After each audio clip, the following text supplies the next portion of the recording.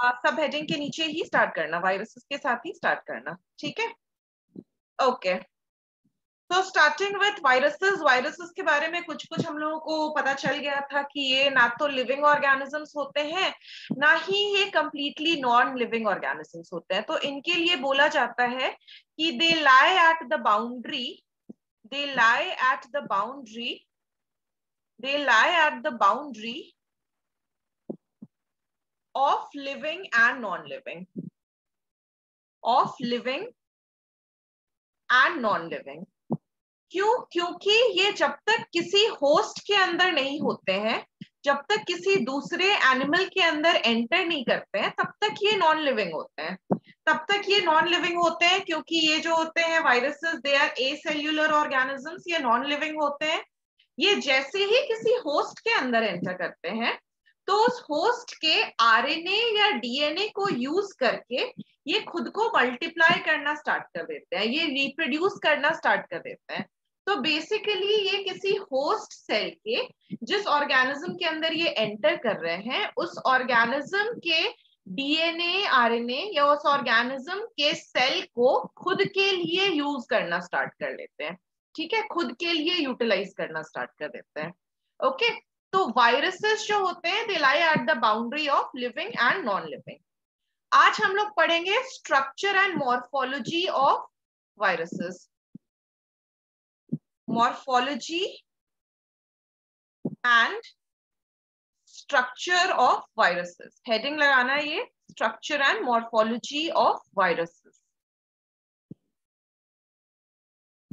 देखो अब बहुत सारे ऐसे वायरस हैं जिनके बारे में हम लोगों को पता भी नहीं है, जिनका स्ट्रक्चर अभी तक हम लोग डेराइव भी नहीं कर पाए हैं। और वायरसेस जो होते हैं ना, उनमें म्यूटेशन बहुत स्पीड में होता है। ठीक है, उनमें आरएनए प्रेजेंट होता है मोस्टली तो उनमें म्यूटेशन बड़े स्पीड में होता है। म्यूटेशन होने का मतलब उनके शेप में या फिर उनके कैरेक्टरिस्टिक में, उनके बिहेवियर में बहुत जल्दी जल्दी चेंजेस आता है। ठीक है सुन रहे हो ना? अभी सुनने को मिलता है कि न्यू स्ट्रेन आ गया अल्फ़ा वन स्ट्रेन आ गया डेल्टा प्लस स्ट्रेन आ गया।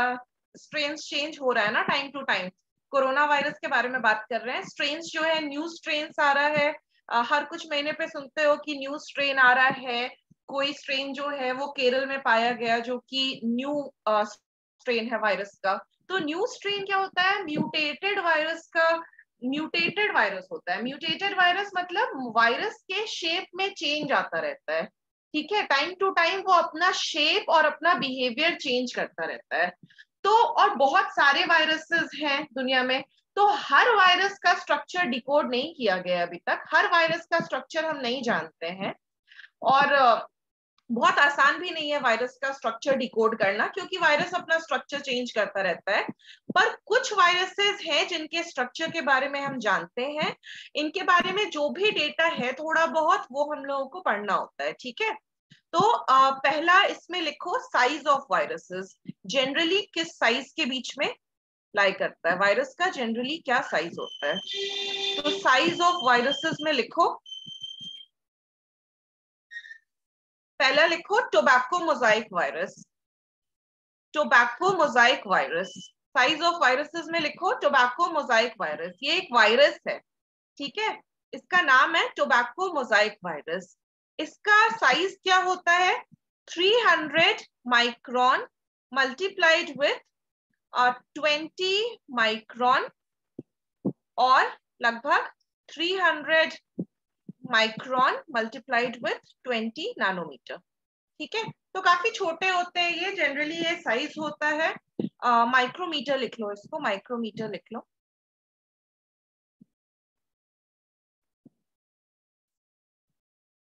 माइक्रोनी ये ऐसे लिखा है। ठीक है? साइज़ ऐसे लिखो। ठीक है? मैम तो इसका मीनिंग क्या हुआ मैम? किसका? ये three hundred micron micron is there something called milli micron as well milli micron भी होता है क्या? यस मैम होता है? मैम चार्ट हो दिया हुआ तो मैम ये चारों क्या क्या है? ये क्या क्या है? अच्छा ये टीएमवी का साइज़ है। या तो इस साइज़ का होता है टीएमवी या तो इस साइज़ का होता है। टीएमवी याद है पिछले क्लास में दिखाए थे टीएमवी तुम लोगों को? Yes ma'am wait a second कहाँ गया? जस्ट अ सेकंड टीएमवी ये था टीएमवी कहाँ है, कहाँ? ये है टीएमवी ये जो स्ट्रक्चर देख रहे हो ना, ये है टीएमवी रुको रुको। ये है टीएमवी टोबैको पे इस तरह का लीफ का पैचेस बन जाना लीफ पे दिस इज़ टीएमवी ये है टोबैको मोजाइक वायरस यही बताए थे ना? ये तो टुंगरो राइस डिज़ीज़ था। This was tobacco mosaic virus है ना? This is milli micron this is milli micron milli micron ठीक है this is milli micron TMV का size three hundred milli micron to twenty milli micron रह सकता है या फिर thirty milli three hundred milli micron to to twenty nanometers ठीक है? तो ये जो है ये साइज़ होता है टीएमवी का। ओके ऑल्दो हम बस एक चीज़ में कंफ्यूज हैं ओके आई चेक दैट ये डायमेंशन हम चेक कर लेंगे ठीक है? शेप uh, अब कैसा होता है? वायरसेस का शेप कैसा होता है? बैक्टीरिया में हम लोग कौन कौन सा शेप पढ़े थे? किसी को याद है? बैक्टीरिया में कौन कौन सा शेप पढ़े थे? बताओ।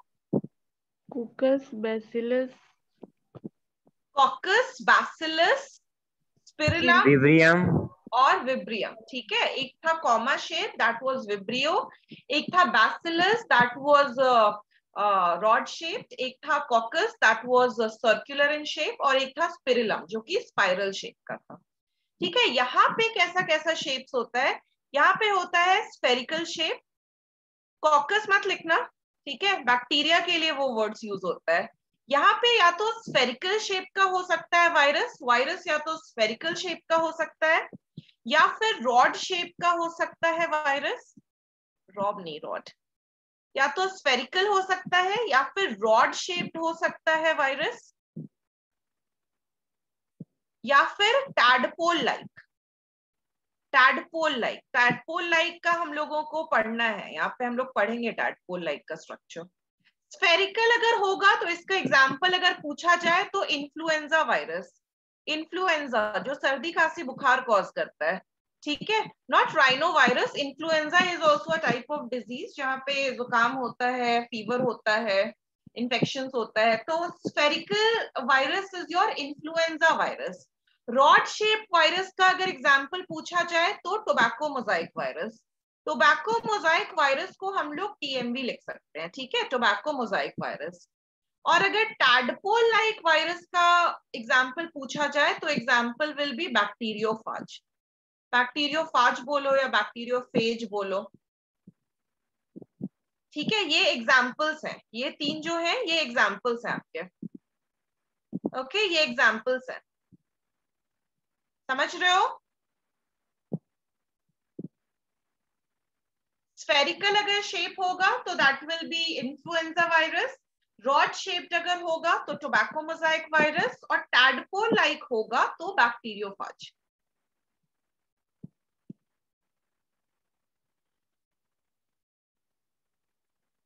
ठीक है? यस मैम आगे बढ़े लिख लिए? यस मैम अच्छा अब हेडिंग डालो केमिकल कॉम्पोजिशन जैसे हमारे बॉडी में प्रोटीन्स प्रेजेंट होता है, हमारे बॉडी में फैट्स प्रेजेंट होता है न्यूक्लिक एसिड प्रेजेंट होता है मतलब डीएनए आरएनए प्रेजेंट होता है। फिर हमारे बॉडी में कार्बोहाइड्रेट्स प्रेजेंट होता है। ये सब बायोमोलिक्यूल से मिल करके एक ह्यूमन बॉडी बना है। तो वैसे ही वायरसेस का केमिकल कॉम्पोजिशन क्या होता है? वायरसेस किस चीज़ के बने होते हैं? ठीक है? तो हेडिंग लगाओ chemical composition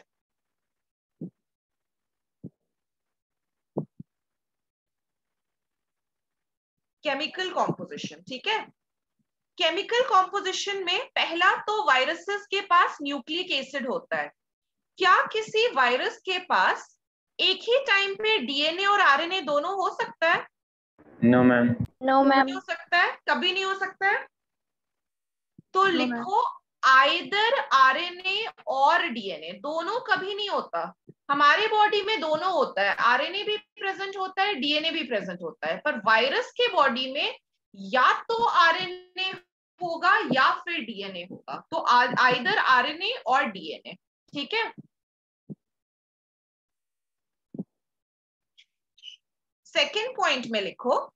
Generally in plant viruses generally in plant viruses generally in plant viruses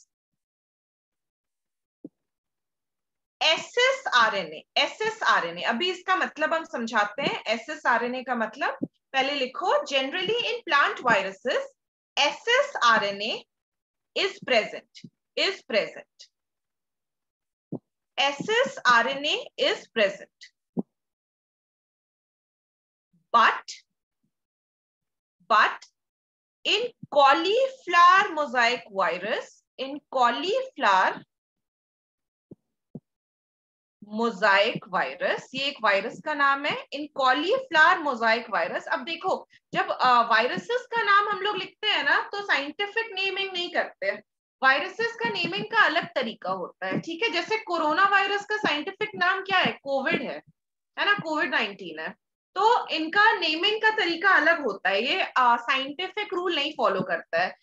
viruses का जो नाम डिसाइड करते हैं ना उस ऑर्गेनाइजेशन का नाम होता है ICVN international code for viral nomenclature ठीक है? आईसीजेडएन और आईसीबीएन इनका नाम डिसाइड नहीं करते। तो वायरसेस का नेमिंग का तरीका भी डिफरेंट होता है ओके okay?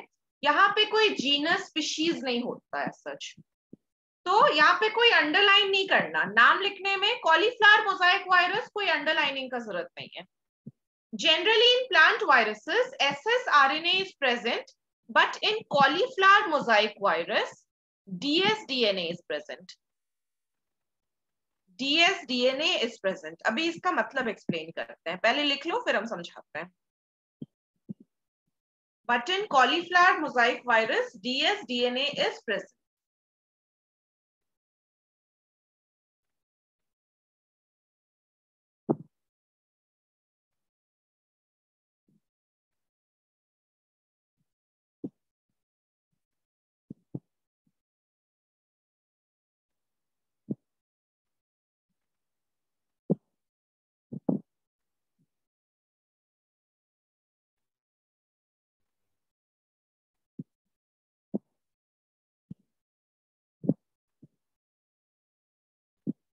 लिख लेना तो बता देना भाई।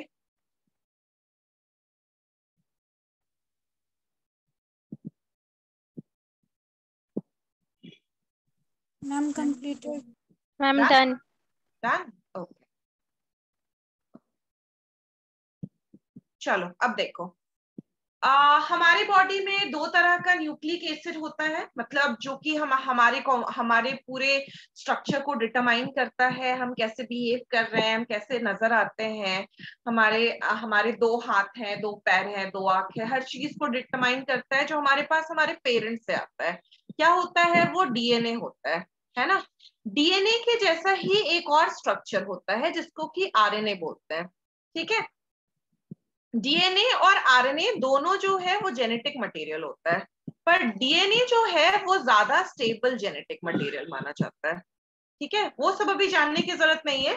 डीएनए कुछ ऐसा दिखता है, कुछ ऐसा नज़र आता है डीएनए, है ना? डीएनए को अगर देखोगे, अगर कभी भी डायग्राम में देखोगे तो डीएनए कुछ ऐसा नज़र आता है। ठीक है? अगर इसके और डिटेल्ड स्ट्रक्चर में नहीं जाओ तो डीएनए कुछ ऐसा नज़र आता है। तो डीएनए कितने रस्सी का मिलके बना हुआ है? कितने स्ट्रैंड्स का बना हुआ है? एक और दो। दो चेन का बना हुआ है डीएनए बताओ। बताओ दो चेन नज़र आ रहा है यहाँ पे। एक और यहाँ पे दूसरा। दो yes, चेन से मिलकर दो चेन से मिलकर डीएनए बना है। ऐसे डीएनए को हम लोग बोलते हैं डीएस डीएनए डीएस का मतलब होता है डीएस का फुल फॉर्म लिखो डबल स्ट्रैंडेड डीएस का फुल फॉर्म होता है डबल स्ट्रैंडेड ये जो चेन है ना, इसको हम लोग स्ट्रैंड बोलते हैं, ठीक है? तो डीएनए इज़ डबल स्ट्रैंडेड ठीक है? डीएनए हमेशा ही डबल स्ट्रैंडेड होता है, हमेशा डबल स्ट्रैंडेड होता है. ठीक है? दो स्ट्रैंड्स का मिलके बना होता है डीएनए तो we call it as double stranded okay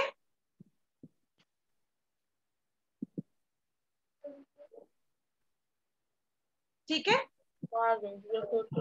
अब एक और एक तो ये डीएनए हुआ अब देखेंगे आरएनए का स्ट्रक्चर ठीक है?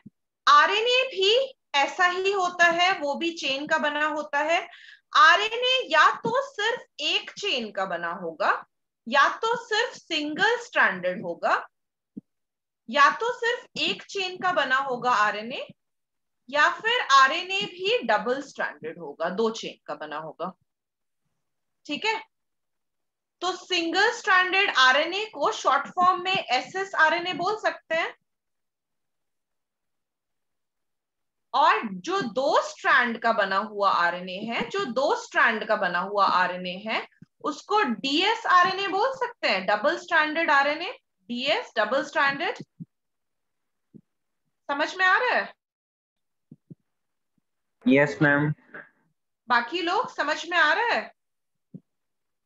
यस मैम यस मैम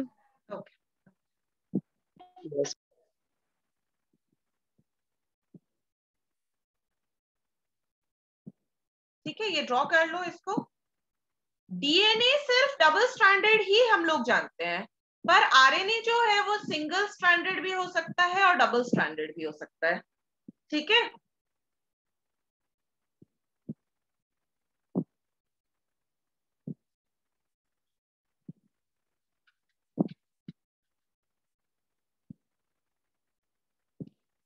अब हम लोगों को पढ़ना है कि प्लांट वायरस में कौन सा डीएनए या आरएनए मिलता है और एनिमल में क्या मिलता है?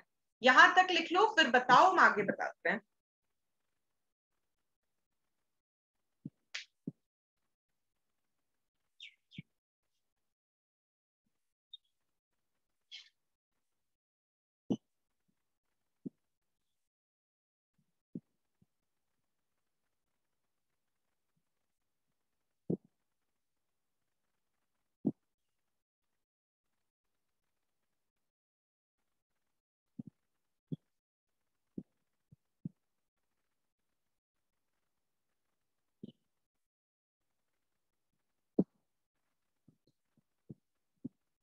मैम डन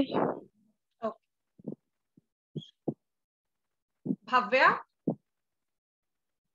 भव्या भव्या सिंह आवाज़ आ रही है भव्या आपको?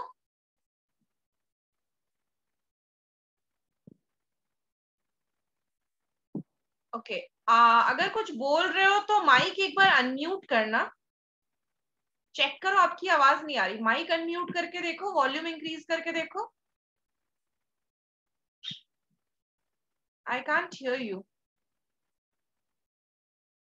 अच्छा कोई नहीं। ठीक है ठीक है। चलो, अभी देखो, आगे लिखो। I try to connect to you again अगर आवाज़ नहीं आ रही है आपको, या फिर कुछ भी, कुछ प्रॉब्लम है या कुछ भी ऐसा है तो आप टाइप कर सकते हो मैसेज में ड्रॉप कर सकते हो। अगर मेरी आवाज़ सुन रहे हो और आपको आवाज़ नहीं मतलब आप बोल नहीं पा रहे हो आवाज़ नहीं जा रही है तो। यू कैन डू दैट चलो आगे नेक्स्ट पॉइंट में लिखो। जनरली इन प्लांट वायरसेस लिखवाए थे क्या ये? Generally in plant viruses yes ma'am हाँ ये लिखवा चुके हैं ना। ठीक है।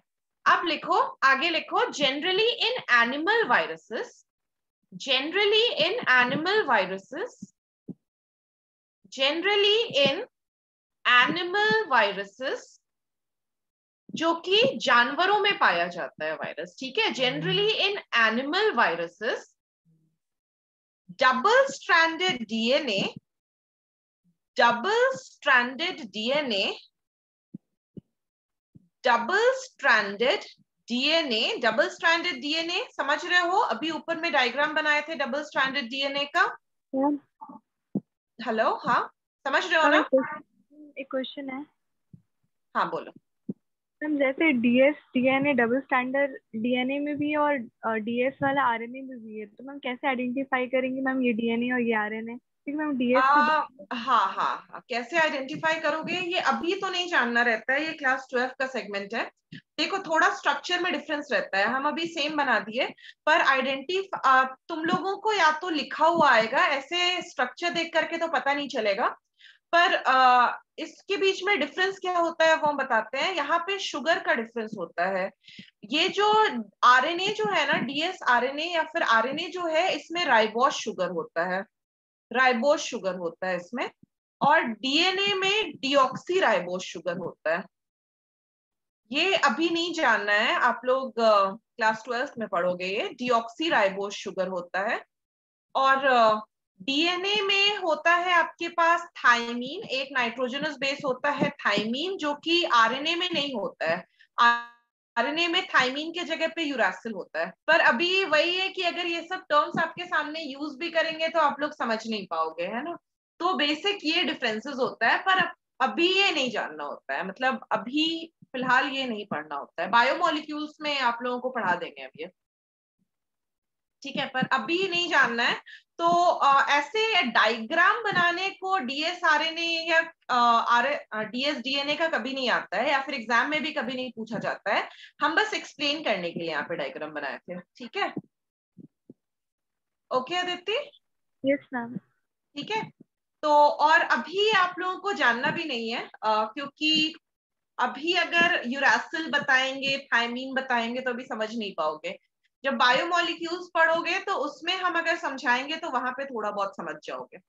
तो इसीलिए अभी बस ये जानो कि अगर दो रस्सी है दो दो चेन है तो दैट इज़ डबल स्ट्रैंडेड अगर सिंगल चेन है तो दैट इज़ सिंगल स्ट्रैंडेड ठीक है? और डीएनए और आरएनए के स्ट्रक्चर में तभी आपको डिफरेंस पता चलेगा जब आप उसको माइक्रोस्कोप से देखोगे। वरना आपको डिफरेंस नहीं पता चलेगा। ठीक है? Yes okay double-stranded DNA, uh, in generally in animal viruses, double-stranded DNA is present, is present. Double-stranded DNA is present, but in some animal viruses, but in some animal viruses, in some animal viruses, in some animal viruses, RNA is also present. RN, RNA is present. Also mat likho. RNA is present. RNA is present, which can be, which can be single or double stranded. Single और double stranded ये आपके NCERT e में भी लिखा हुआ है, ठीक है? और ये क्वेश्चन बार बार पूछा जाता है एग्ज़ाम वगैरह में। अगर एनिमल वायरस है, अगर एनिमल वायरस है मतलब एनिमल को इन्फेक्ट करने वाला अगर वायरस है तो उसमें या तो डीएनए होगा डीएनए होगा तो कैसा डीएनए होगा? डबल स्टैंडर्ड डीएनए होगा या फिर आरएनए होगा। आरएनए होगा तो या तो सिंगल स्टैंडर्ड आरएनए हो सकता है या फिर डबल स्टैंडर्ड आरएनए हो सकता है। ठीक है, ये हुआ बात एनिमल वायरस का। ये लिख लो इसको। ये नहीं भी लिखोगे तो चलेगा। ये बस हम एक्सप्लेन करने के लिए लिखे हैं।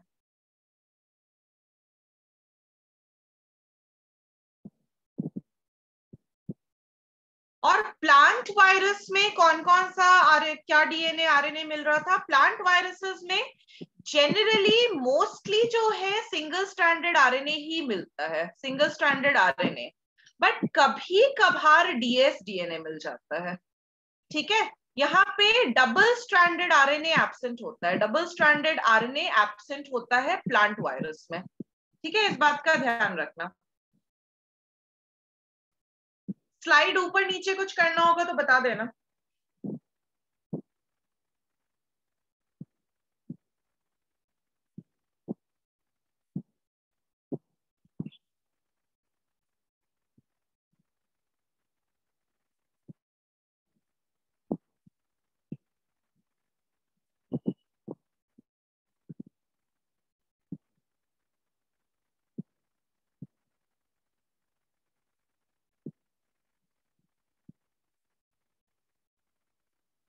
हो जाए तो भी बता देना।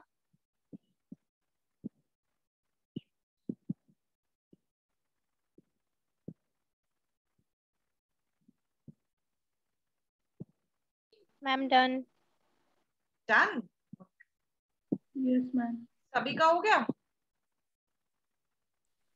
यस मैम ओके आरएनए हो गया डीएनए आरएनए हो गया। अब लिखो सेकेंड पॉइंट में लिखो। वेट अ सेकेंड पहला केमिकल कॉम्पोजिशन में पहला हम लोग लिखे थे न्यूक्लिक एसिड है ना? न्यूक्लिक एसिड ये नंबर टू मत लिखो, इसको पॉइंट में लिख देना, ठीक है? इसको नंबर टू मत लिखो। पहला कॉम्पोजिशन जो हम लोग पढ़े that was nucleic acid second composition जो हम लोगों को पढ़ना है वो है प्रोटीन वायरसेस में प्रोटीन प्रेजेंट होता है, पर प्रोटीन वायरस के अंदर नहीं प्रेजेंट होता है. प्रोटीन बाहर की तरफ़ प्रेजेंट होता है तो प्रोटीन का कोट होता है वायरस के पास.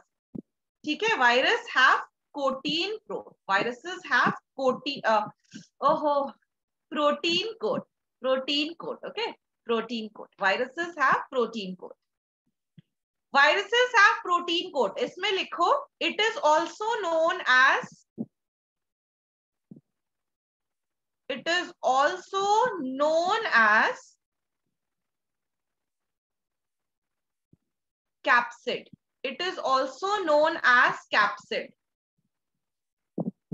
और कैप्सिड किस चीज़ का बना होता है it is also known as capsid और आगे लिखो capsid is made up of capsid is made up of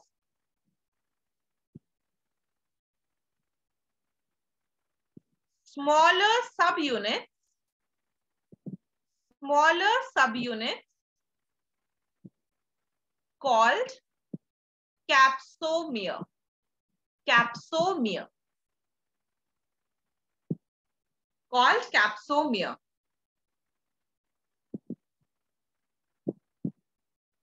central core central core बीच का जो पार्ट होता है वायरसेस का central core and capsid and capsid central core मतलब जो हम लोग न्यूक्लिक एसिड पढ़े सेंट्रल में क्या सेंटर में क्या प्रेजेंट होता है? डीएनए और RNA central core and capsid is collectively called is collectively called central core is your nucleic acid ठीक है? तो central core plus capsid is collectively called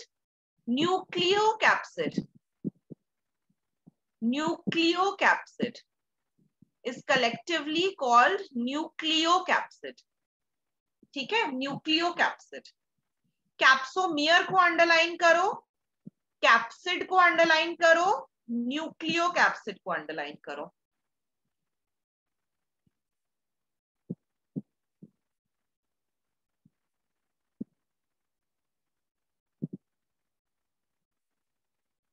आगे लिखो in some viruses in some viruses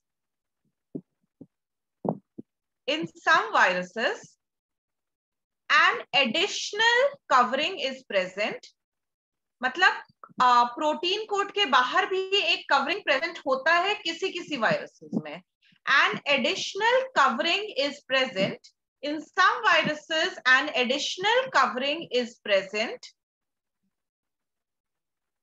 is present called envelope. इस covering को क्या बोलते हैं? एनवेलप बोलते हैं। जैसे चिट्ठी का लिफाफा होता है ना, वैसे ही आउटर एक्सटर्नल कवरिंग जो होता है किसी किसी वायरसेस में ही होता है। सारे वायरसेस में नहीं होता। एक्स्ट्रा कवरिंग जो प्रेजेंट होता है कुछ वायरसेस में, उसको बोलते हैं envelope and such viruses are called और ऐसे वायरसेस को क्या बोलते हैं? Such viruses are called enveloped virus लिफाफे वाला वायरस एनवेलप्ड वायरस ठीक है?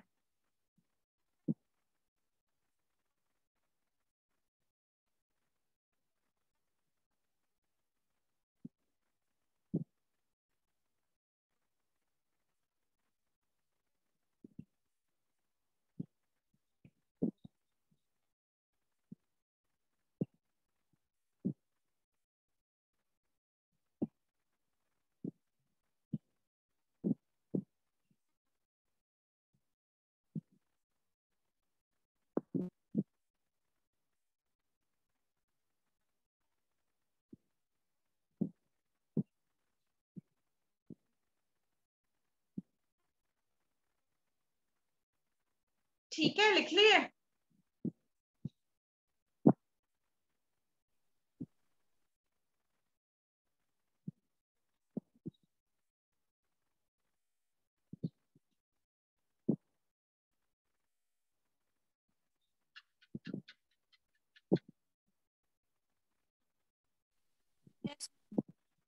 हो गया? आगे बढ़े फिर? देखो, कोई भी वायरस होगा ना, अभी जो हम डायग्राम बना रहे हैं, वो डायग्राम कोई नहीं बनाएगा, ठीक है? अभी जो हम डायग्राम बना रहे हैं, उस डायग्राम को कोई नहीं बनाएगा, क्योंकि this is not a proper diagram proper diagram हम बनवाएँगे अभी। मान लो कि ये इनर कोर है, ठीक है? मान लो कि ये इनर कोर है। इनर कोर मतलब इंटरनल स्ट्रक्चर है किसी किसी वायरस का। तो ये बना होता है डीएनए या फिर आरएनए से। इंटरनल कोर जो है वो डीएनए या फिर आरएनए से बना होता है। अब इस कोर के अराउंड इस कोर के अराउंड जो स्ट्रक्चर प्रेजेंट होगा, इस कोर के अराउंड जो स्ट्रक्चर प्रेजेंट होगा, जो कवरिंग प्रेजेंट होगा, इस कवरिंग को हम लोग बोलते हैं कैप्सिड ठीक है? ये जो कवरिंग बाहर के तरफ़ प्रेजेंट होता है, इस कवरिंग को हम लोग बोलते हैं कैप्सिड ठीक है? जैसे हमारा स्किन है, वैसे ही वायरसेस के पास जो कवरिंग होता है, उसको हम लोग बोलते हैं कैप्सिड ठीक है? तो ये हो जाएगा कैप्सिड अब कैप्सिड जो है छोटे छोटे सब यूनिट से मिलकर के बना हुआ है। छोटे छोटे सब यूनिट से मिलकर के बना हुआ है। ठीक है? हम यहाँ पे हेक्सागनल स्ट्रक्चर बना रहे हैं। स्फेरिकल हो सकता है, किसी भी स्ट्रक्चर का हो सकता है। छोटे छोटे स्ट्रक्चर से मिल करके कैप्सिड बना हुआ है। ठीक है? तो कैप्सिड और कैप्सोमियर समझ रहे हो ना? कैप्सिड और डीएनए समझ रहे हो ना?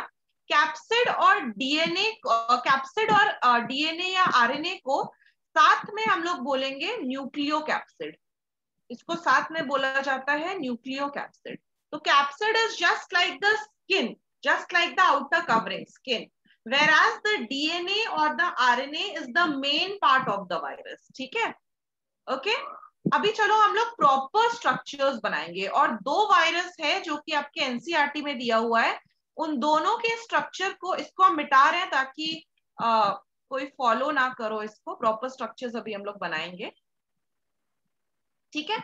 आ, आपके एनसीआरटी में जो स्ट्रक्चर दिया है वो एग्जामिनेशन में पूछा जाता है नीट के भी एग्जामिनेशन में आता है और वो आपके स्कूल के भी एग्जामिनेशन में आपको ड्रॉ करने को आ सकता है। ठीक है? तो we'll be drawing that structure and we'll try to understand that चलो, इसके लिए हेडिंग डालो some important viruses some important viruses some important viruses diagram बना करके हम लोग समझेंगे। और अभी जो हम डायग्राम बनाएँगे ना, वो आप लोगों को कॉपी में ड्रॉ करना है। सम इंपॉर्टेंट वायरसेस पहला is tobacco mosaic virus tobacco mosaic virus tobacco mosaic virus tobacco mosaic virus का शॉर्ट फॉर्म होगा टीएमवी अगर हम लोग किसी लीफ पे देखें, किसी लीफ पे देखें अगर तो टोबैको मोजाइक वायरस कुछ ऐसा नज़र आएगा। अगर पत्ते पे ऐसा स्ट्रक्चर नज़र आ रहा है मोजाइक लाइक स्ट्रक्चर नज़र आ रहा है तो ये है आपका टीएमवी ठीक है? This is your tobacco mosaic virus tobacco क्यों? क्योंकि टोबैको प्लांट पे होता है, तंबाकू के पत्ते पे नज़र आता है। तो इसलिए इसको टोबैको मोजाइक वायरस बोलते हैं। ठीक है? टोबैको प्लांट्स पे ग्रो करता है। चलो, अब इसका स्ट्रक्चर बनाएँगे पहले, उसके बाद कुछ पॉइंट्स लिखेंगे इसके बारे में। देखो पहले तो ऐसे करो ठीक है? पहले ऐसे स्ट्रक्चर बनाओ। स्प्रिंग लाइट दिख रहा है ये? ठीक है? पहले ये स्ट्रक्चर बनाओ फिर इसके ऊपर ऐसे गोल गोल बनाओ। वो जो डॉट बना है बना रहे हो वो डॉट लाइटली बनाना। ये बस इसलिए बना रहे हैं ताकि हम लोग का जो स्पाइरल शेप है वो प्रॉपरली बन सके।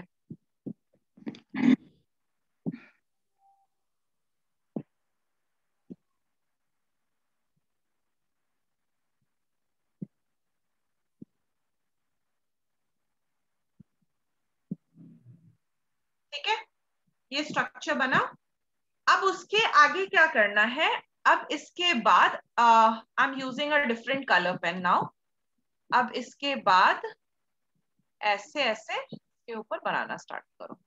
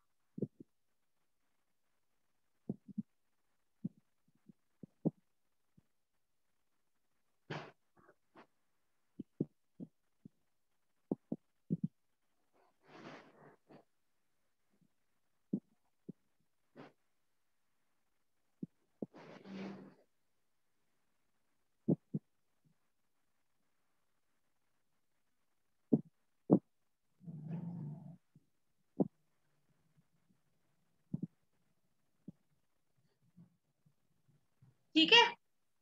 इस तरह से स्ट्रक्चर बनता है। बस इतना ही बनाते हैं। ठीक है? इसको भी कवर कर लो, यहाँ पे भी ऐसे कवर कर लो।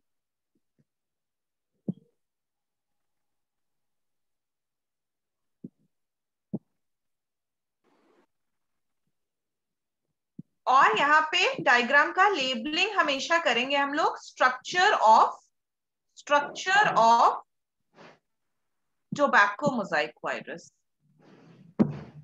Structure of tobacco mosaic virus. देखो तो किसी का माइक ऑन है क्या किसी का माइक अगर ऑन है तो म्यूट कर लो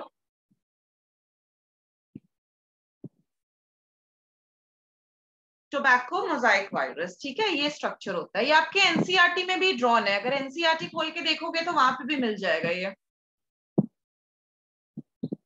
है ना?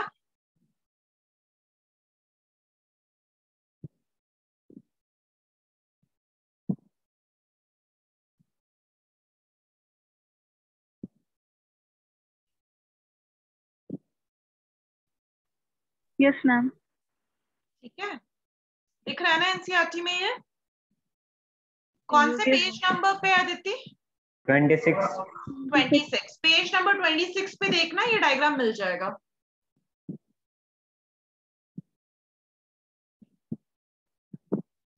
इसका लेबलिंग करें अब ये जो राउंड हेलिक्स लाइक स्ट्रक्चर है ना ये आरएनए हेलिक्स है ठीक है? ये है आरएनए हेलिक्स। ये आरएनए हेलिक्स है ठीक है? अब ये जो पूरा कवरिंग देख रहे हो, ये जो पूरा कवरिंग देख रहे हो ब्लू कलर से जो हम ड्रॉ किए हैं, ये पूरा कवरिंग है कैप्सिड ये पूरा कवरिंग है कैप्सिड और हर एक यूनिट जो है, हर एक यूनिट जो है, हर एक ओवल स्ट्रक्चर जो देख रहे हो, वो है आपका कैप्सोमियर कैप्सोमियर। कैप्सोमियर कैसा है? तो कैप्सोमियर प्रोटीन का सब यूनिट है, प्रोटीन सब यूनिट है ये। कैप्सिड का सब यूनिट है। कैप्सोमियर, हर एक छोटे यूनिट को बोलेंगे कैप्सोमियर। और बीच में जो सेंट्रल स्पेस है, जो सेंट्रल स्पेस है बीच में, उसको बोलेंगे, जो बीच में सेंट्रल, खाली स्पेस है, उसको बोलेंगे central lumen. Central lumen lumen का मतलब होता है स्पेस ठीक है? ल्यूमेन का मतलब होता है कैविटी कैविटी या स्पेस ठीक है? तो आ, इसको बोलते हैं central lumen this is the structure of tobacco mosaic virus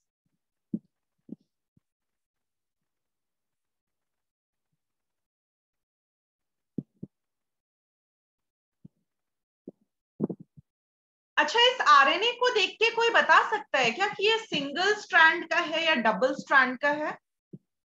single ma'am double double कैसे अदिति ये सिंगल है ना देखो सिंगल है ये। तो हमको लगा वो राउंड है तो शायद डबल है। अच्छा नहीं नहीं अगर हम इसको ऐसे कर देते तो ये डबल हो जाता।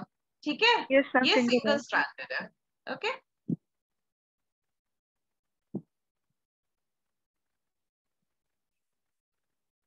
ये ड्रॉ कर लो, फिर इसके बारे में कुछ पॉइंट्स लिखवाते हैं। देखो, दो ही तरह का वायरस का स्ट्रक्चर आपको पढ़ना है अभी। एक होता है बैक्टीरियोफाज जो कि पढ़ेंगे, और एक होता है ये टोबैको मोजाइक वायरस दो ही का स्ट्रक्चर पढ़ना है आपको।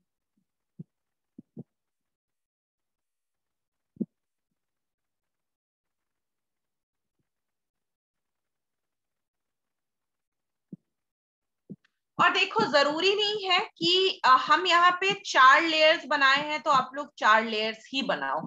आप लोग छह भी बना सकते हो, सात भी बना सकते हो, तीन भी बना सकते हो।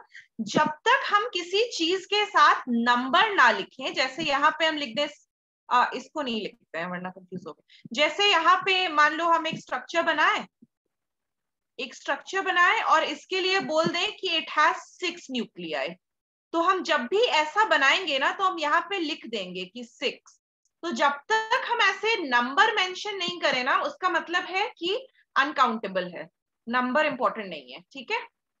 जब कभी भी किसी ऑर्गेनिज्म में कोई पर्टिकुलर नंबर याद रखने वाला होगा तो वो हम मेंशन कर देंगे। जब तक हम नंबर मेंशन नहीं कर रहे हैं, तब तक गिनती करके बनाने की ज़रूरत नहीं है। क्योंकि ऐसा जनरली होता है, जब हम लोग भी इलेवेंथ स्टैंडर्ड में थे तो टीचर्स डायग्राम में जितना सर्कल बनाते थे, हम लोग उतना ही सर्कल बनाते थे। जितना स्क्वायर्स है, हम लोग उतना ही स्क्वायर बनाते थे। तो इलेवेंथ स्टैंडर्ड में जब हम लोग आते हैं तो अचानक से बड़े बड़े डायग्राम्स आने लगते हैं। टेंथ तक डायग्राम्स तो होता नहीं है, खास करके सीबीएसई में बहुत कम डायग्राम्स होता है। जनरली ड्रॉ नहीं करने को बोला जाता है। यहाँ पे अचानक से इलेवेंथ ट्वेल्थ में आपको हर कुछ चीज़ का डायग्राम ही बनाना होता है। हर चीज़ का डायग्राम बनाना है। तो आ, ऐसा होता है कि हम लोग समझ नहीं पाते हैं कि एग्जैक्टली exactly जो टीचर बना रहा है उसी को कॉपी करना है या थोड़ा बहुत चेंजेस एग्जैक्टली exactly जो हम बना रहे हैं वही बनाना है। बस नंबर्स जो है वो एग्जैक्ट काउंटिंग करके नहीं करना है।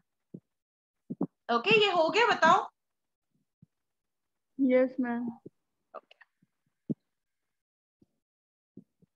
चलो, इसके बारे में कुछ पॉइंट्स लिखो। टीएमवी के लिए लिखो it is the most thoroughly studied it is the most thoroughly studied मतलब सबसे ज़्यादा पढ़ा जाने वाला वायरस सबसे ज़्यादा हम किसी के बारे में अगर जानते हैं तो टीएमवी के बारे में जानते हैं। It is the most thoroughly studied virus it is the most thoroughly studied virus and was discovered by पिछले क्लास में हम लोग पढ़े थे साइंटिस्ट का नाम, याद है किसी को? पेजेस पलट के भी देख के बता सकते हो अभी।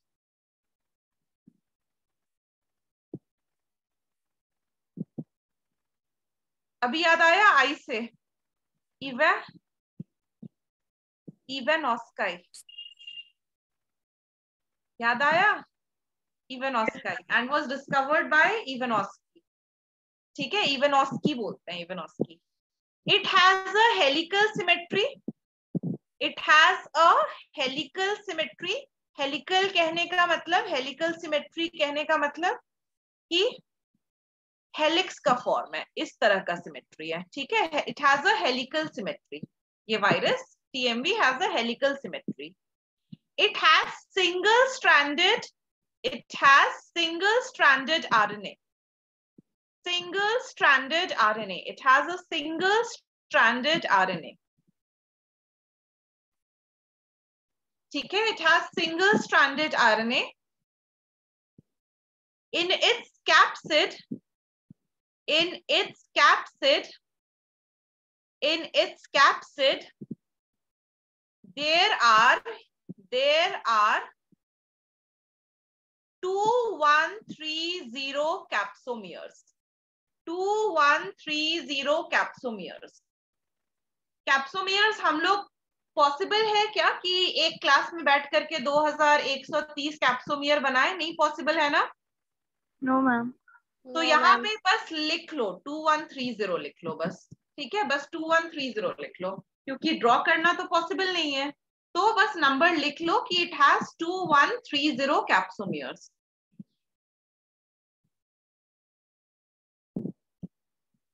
इस वायरस में टीएमवी में five percent R N A five percent R N A present होता है plus ninety five percent protein is present five percent R N A plus ninety five percent protein is present मतलब RNA का amount बहुत छोटा सा है। अगर diagram को भी देखोगे तो आरएनए बहुत छोटा सा है। मोस्टली जो है वो प्रोटीन प्रेजेंट है। तो ये पाँच पॉइंट्स है जो आपको इस वायरस के बारे में जानना है। अगर एग्ज़ाम में आ जाए टीएमबी वायरस तो आपको बस ये डायग्राम बना करके जितना भी पॉइंट्स याद रख सको, वो याद रखना है। जैसे सिंगल स्टैंडर्ड आरएनए मेंशन कर लोगे डायग्राम को देख करके पहचान जाओगे। It has five percent R N A ninety five percent protein capsomere कितना है? तो two one three zero capsomere together make up the capsid discover किसने किया? तो इवन ऑस्की ने डिस्कवर किया था ठीक है? It is the most thoroughly studied virus helical symmetry है। तो अगर जितना याद आ सके, उतना लिख सकते हो। डायग्राम बनाकर लिखने का क्या फ़ायदा होता है कि बहुत सारा चीज़ हम लोग डायग्राम के थ्रू ही समझ जाते हैं, ठीक है? डायग्राम बनाने के बाद अगर लिखोगे ना तो ज़्यादा अच्छे से याद होता है, क्योंकि डायग्राम में हम लोग वो चीज़ देख चुके हैं तो याद करने में आसानी होती है। लिखना हो जाए तो बताना।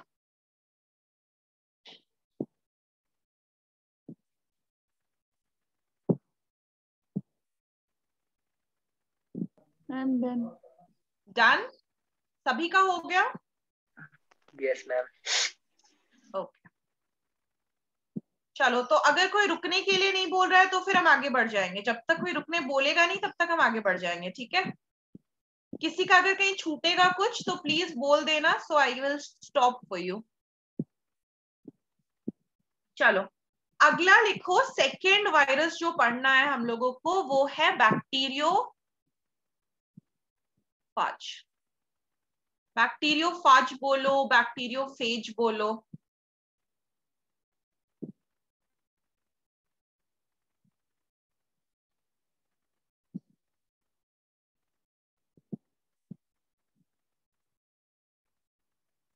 चलो, इसका डायग्राम अब बनाएँगे हम लोग। पहले हम, हमको देख लो बनाते हुए, उसके बाद बनाओ।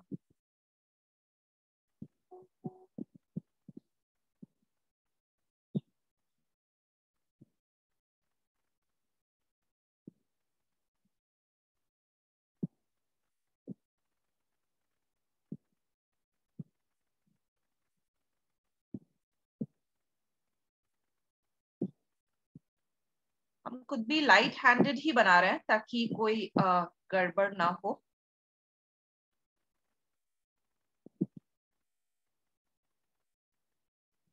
हेक्सागन बना लो एक बीच में इसके। ठीक है? उसके बाद ऐसे स्ट्रक्चर बनाओ। इसको ज्वाइन करो, इसको ज्वाइन करो। फिर नीचे स्ट्रक्चर बनाओ।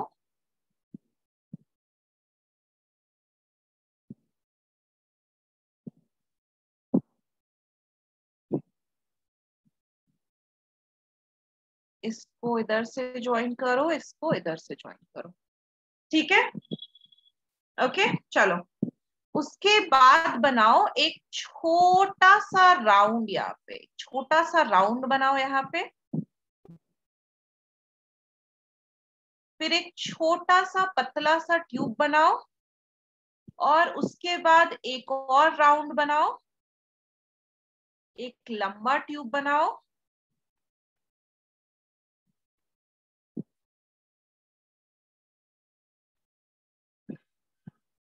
और इसमें ऐसे ऐसे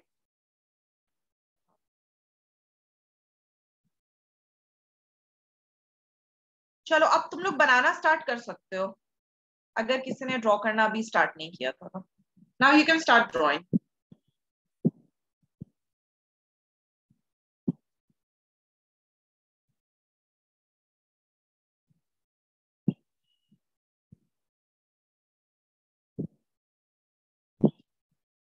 यहाँ पे एक और राउंड बनाओ। यहाँ पे पिन बनाओ।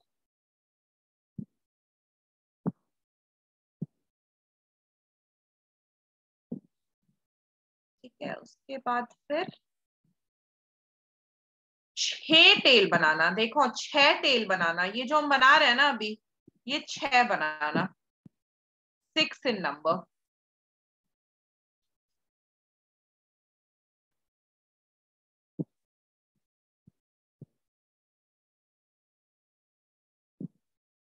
ये दो हुआ।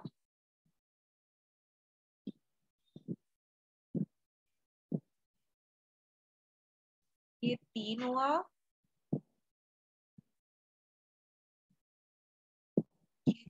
चार हुआ।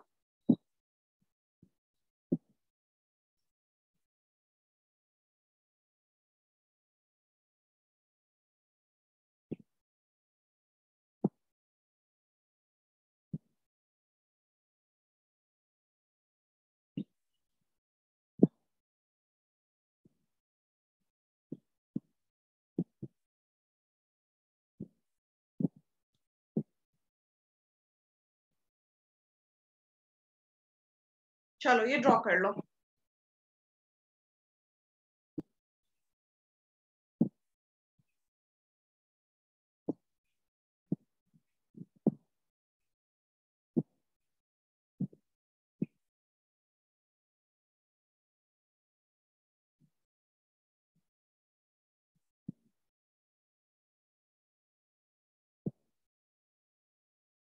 जब ड्रॉ कर लोगे तब बताना हमको ठीक है? फिर हम लेबलिंग करेंगे।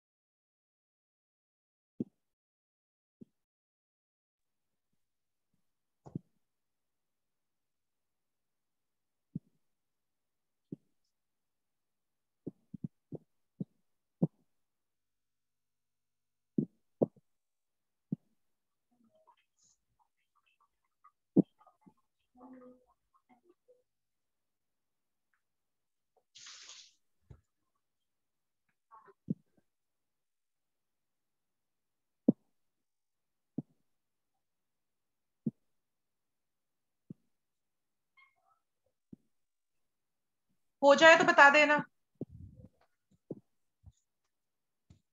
मैम डन चलो इसका लेबलिंग करते हैं।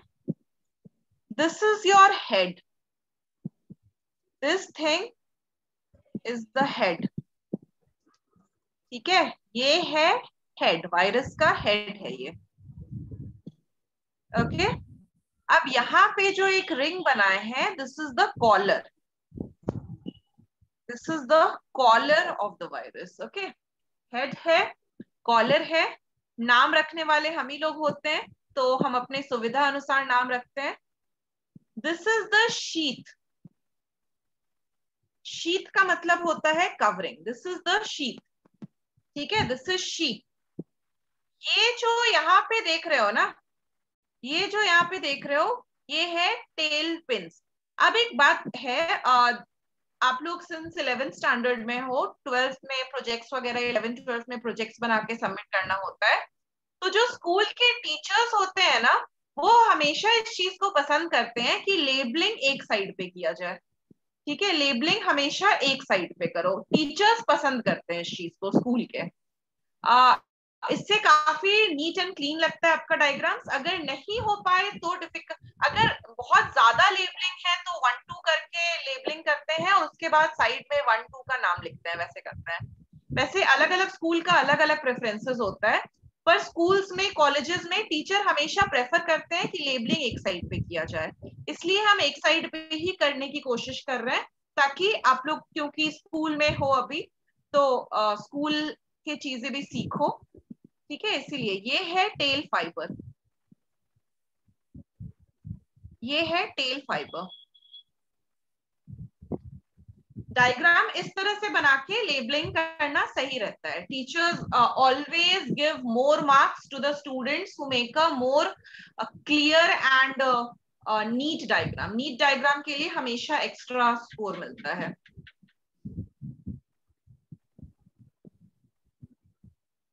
ठीक है? ये हुआ हेड हेड के नीचे है collar this is your sheath ये जो, ये वाला पार्ट है दिस इज़ योर शीट उसके नीचे है tail fibre and you have the tail pin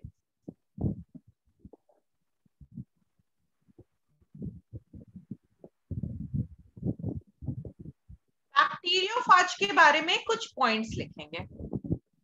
पहले तो बैक्टीरियोफाज किसको बोलते हैं? The viruses which infect bacteria the viruses that infect bacteria the viruses that infect bacteria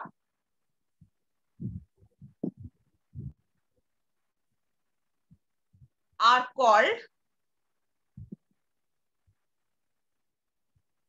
bacteriophages. The viruses that infect bacteria are called bacteriophages. Next point, likho.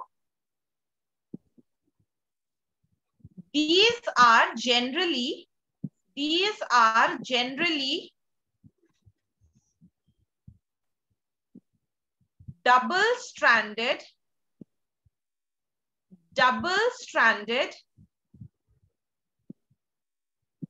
DNA virus. These are generally double-stranded DNA virus.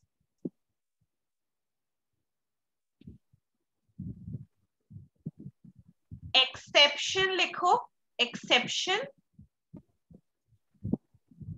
In QB bacteriophage ये नाम है QB is name okay in QB bacteriophage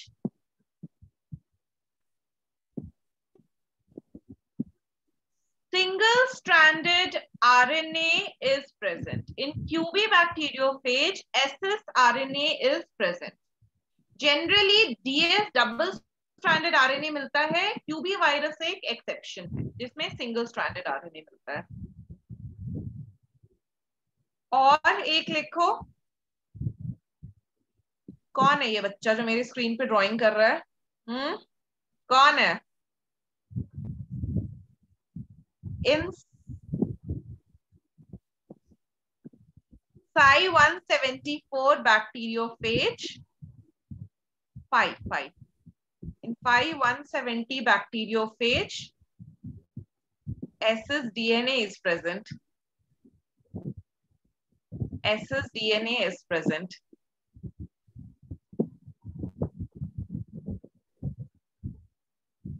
ठीक है? बस इतना जानना है bacteriophage के बारे में।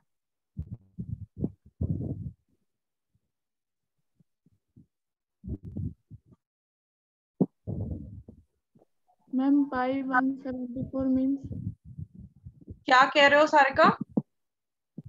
मैम जो आपने लास्ट लास्ट पॉइंट में लिखवाया वो फिर से बता दीजिए ना।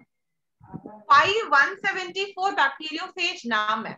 Five one seventy four, five into one seventy four bacteriophage नाम है। और इसके अंदर भी सिंगल स्ट्रैंडेड डीएनए पाया जाता है। जनरली बैक्टीरियोफेज में डबल स्टैंडर्ड डीएनए मिलता है, जबकि यहाँ पे दो एक्सेप्शन हम लोग देखे। एक है क्यूबी बैक्टीरियोफेज और दूसरा है phi one five one seventy four bacteriophage इन दोनों में एक में सिंगल स्टैंडर्ड आरएनए मिलता है एक में एसएस डीएनए मिलता है सिंगल स्टैंडर्ड डीएनए बाकी सारे बैक्टीरियोफेजेस में आपको डबल स्टैंडर्ड डीएनए मिलता है ठीक है? ये नाम है ये बैक्टीरिया का ये सॉरी ये वायरस का नाम है बैक्टीरियोफेज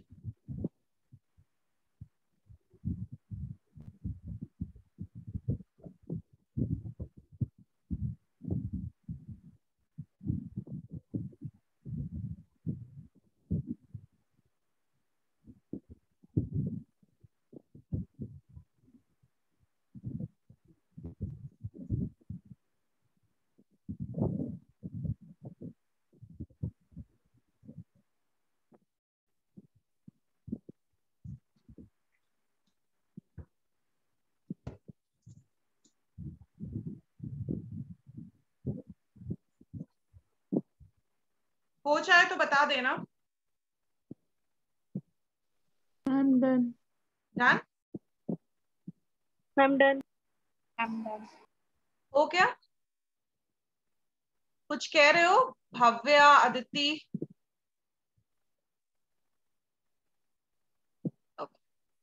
नो। मैम एक प्रोसेस जानना है यहाँ पे दैट इज़ ट्रांसडक्शन शॉर्ट में ही जानना है इसको अभी ट्रांसडक्शन ट्रांसडक्शन क्या होता है? ट्रांसडक्शन के लिए लिखो, अलग से टॉपिक लिखो ट्रांसडक्शन ट्रांसडक्शन में लिखो when a bacteriophage when a bacteriophage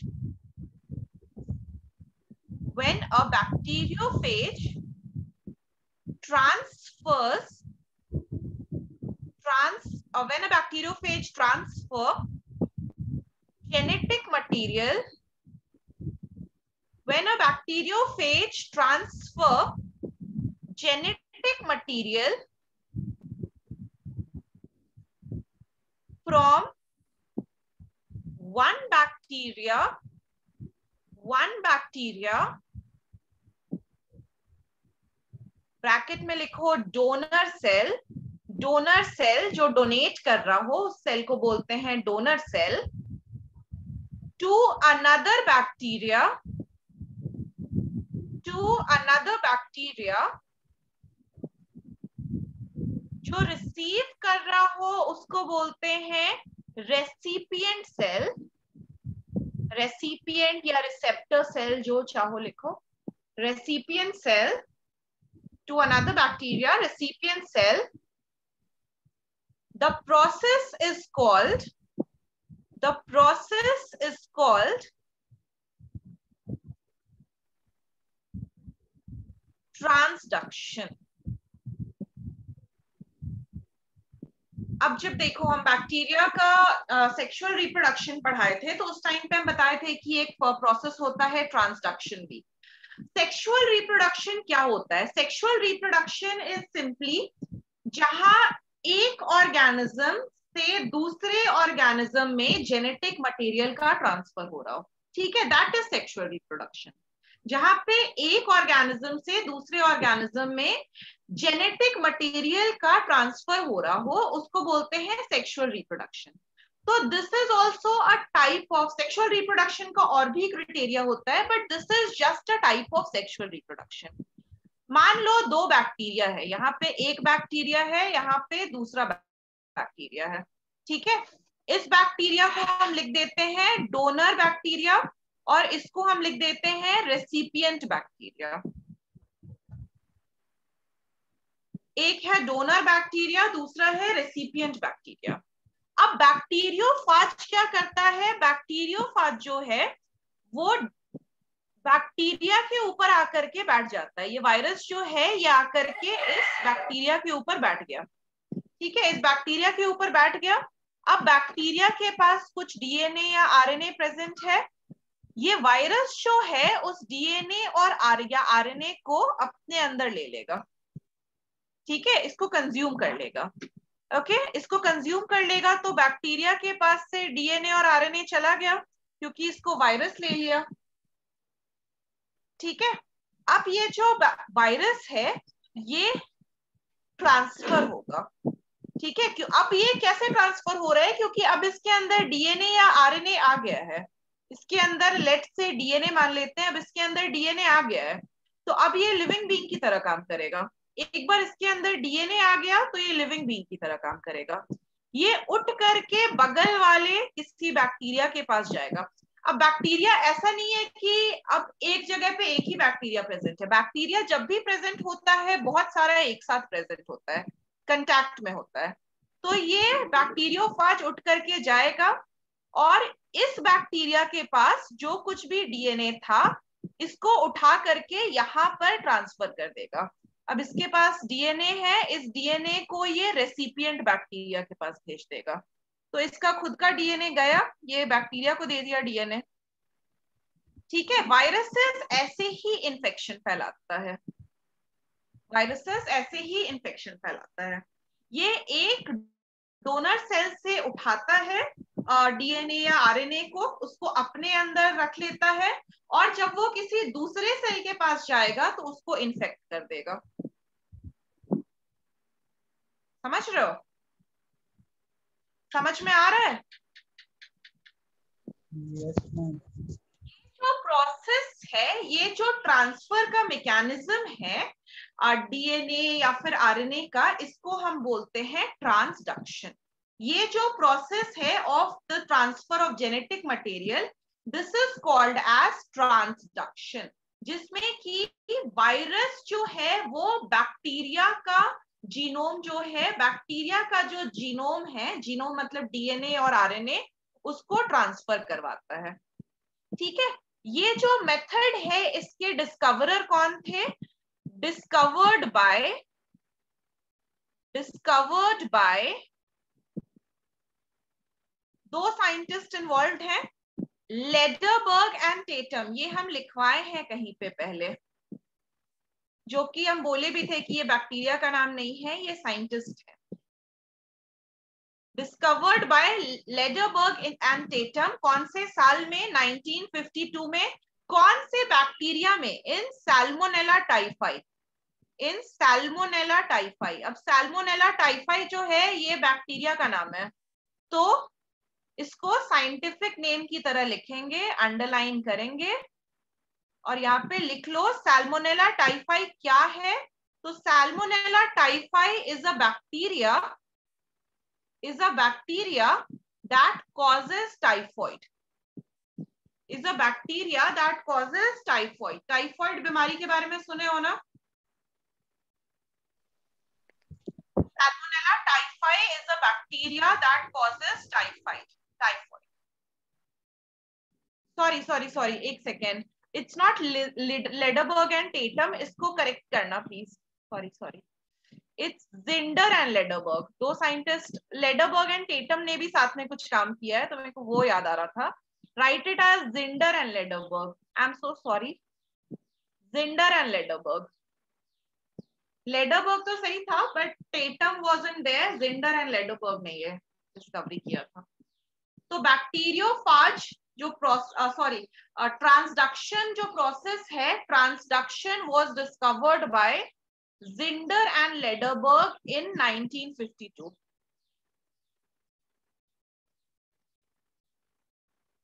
in salmonella typhi which is a bacteria that causes typhoid. ठीक है? तो टाइफॉइड बैक्टीरिया से एक से दूसरे सेल में पहुँचाने का काम कौन कर रहा था? वायरस कर रहा था।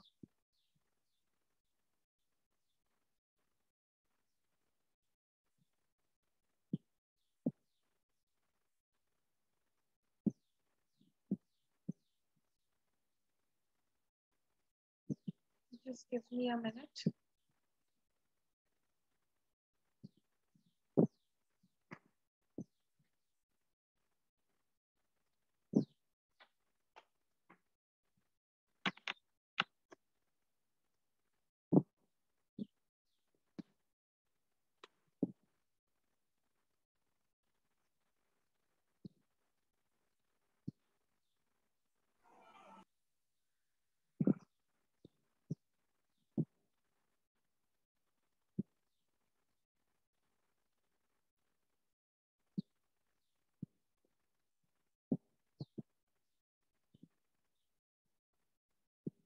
Ma'am done done हो गया सबका?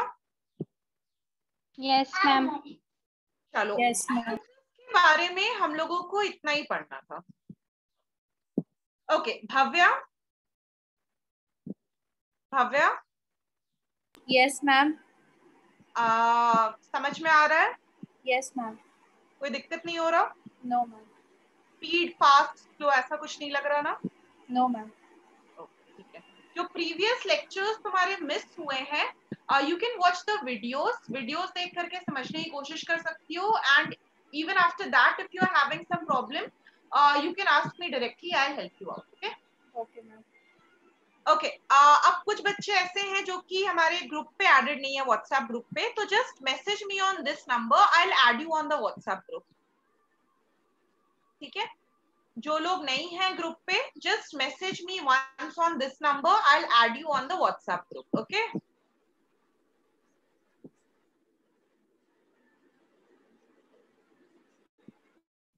so you I can give you notes over there वहाँ पे आपको नोट्स मिल सकता है. टेलीग्राम पे भी हमारा चैनल है श्रीवास्तवा क्लासेस का. uh, वहाँ भी ज्वाइन कर लेना. ओके व्हाट एल्स हाँ. आज शाम को सात बजे हम लोग chapter one chapter one that was living world living world के प्रीवियस ईयर्स क्वेश्चन डिस्कस करेंगे, ठीक है? शाम में सात बजे यूट्यूब लाइव पे हम लोग लिविंग वर्ल्ड चैप्टर का क्वेश्चन डिस्कस करेंगे. प्रीवियस ईयर क्वेश्चन डिस्कस करेंगे at seven P M okay so I am hoping to see you all there जितना भी क्वेश्चंस होगा जो पिछले कुछ साल में आ चुका है, जिस सेगमेंट से क्वेश्चंस आते हैं, उन सबको हम लोग डिस्कस करेंगे। I give you the answers आप लोगों से पहले क्वेश्चन पूछा जाएगा। You can answer over there अगर नहीं भी आंसर करते हो तो अगर कुछ गलत भी आंसर करते हो तो ऐसा कोई जजमेंट नहीं है, कोई पनिशमेंट नहीं दिया जा रहा है उसके लिए। It is just a question answer session जिसमें प्रीवियस ईयर क्वेश्चन डिस्कस होगा। चैप्टर वन का। ठीक है? So I am expecting that you all will join okay so I see you at seven P M then is that okay Yes, ma'am. Yes ma'am हमारा okay हमारा viruses खत्म हुआ इसके साथ ही ठीक है? इसके साथ हमारा वायरस खत्म हुआ। जिन लोगों का कुछ सेगमेंट छूट गया है you can text me on the group और you can text me directly I provide you with the notes ठीक है? uh, जो लोग कंटिन्यू करना चाहते हैं क्लासेस और जिनका कुछ छूट गया है कुछ पुराना मटेरियल चाहते हैं वो लोग तो they can directly contact me और they can contact me so that I can add them on the group और आज शाम में सात बजे I see you will discuss the questions of chapter one so I will see you there okay. Okay, ma'am. ठीक है तो अगली क्लास में मिलते हैं। मंडे को है अगला क्लास मंडे को मिलते हैं ठीक है? और आज शाम में सात बजे मिलते हैं on YouTube live okay okay ma'am चलो और okay. किसी का कोई doubt no ma'am okay so we keep it till here for today okay thank you thank you you ma'am thank you ma'am thank you,